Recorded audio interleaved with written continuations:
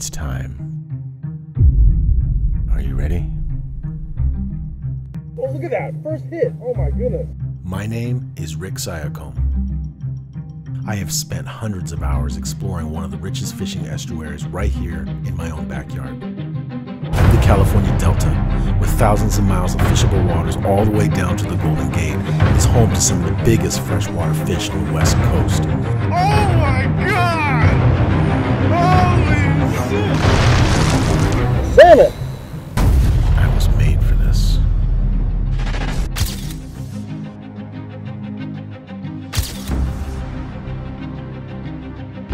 Today, I'm continuing my chase to catch some of the best stripers along the California Delta. Join me in my amazing adventure on this episode of